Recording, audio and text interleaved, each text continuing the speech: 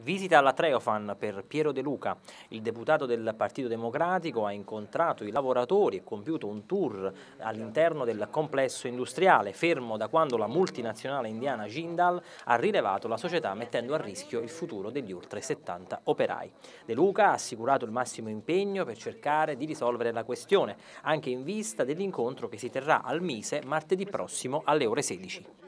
mi ha colpito molto la, il giro, la visita che ho fatto qui, le chiacchierate, le discussioni con, con eh, i dipendenti, con gli operai, eh, la vicenda del paradossale e del surreale. Eh, C'è un'acquisizione da parte di un gruppo internazionale che invece di rilanciare una delle più importanti realtà nostro, del nostro paese la chiude senza alcuna motivazione apparente, per cui eh, davvero siamo senza parole, sono senza parola io, come tutte le rappresentanze sindacali e tutti gli operai,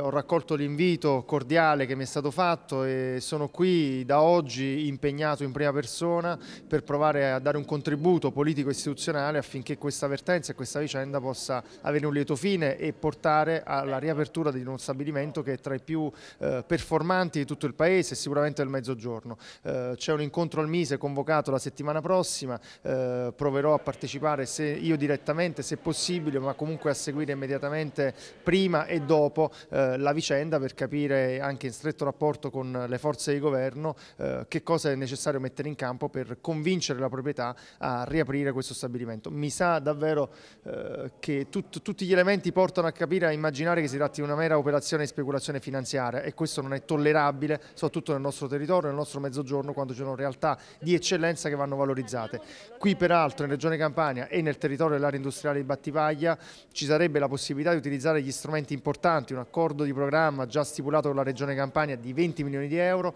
eh, le opportunità derivanti all'istituzione delle zone economiche speciali, quindi tutta una serie di misure, di incentivi che potrebbero consentire addirittura di rafforzare la produzione e ampliare gli stabilimenti industriali. Davvero non vedo ragione alcuna eh, per la quale la Gindal, questa multinazionale, debba penalizzare i lavoratori e tutta un'area industriale e tutta un'intera comunità che ovviamente su, questa, eh, su questo stabilimento industriale dà ovviamente sostegno e respira a tante famiglie del territorio. Per cui io sono impegnato in prima persona, spero davvero di poter dare un mio personale contributo politico e istituzionale alla risoluzione di questa vicenda.